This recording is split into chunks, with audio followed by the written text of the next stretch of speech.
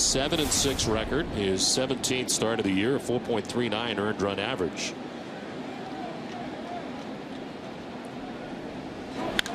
This is in the air to right field, hit well by Jacoby Ellsbury. That's going to ride right out of here. Into the bleachers. Jacoby Ellsbury puts the Sox on top, one to nothing.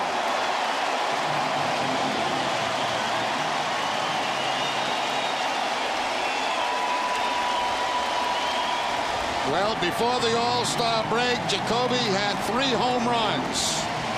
Number four, no question about this, off Andy Pettitte.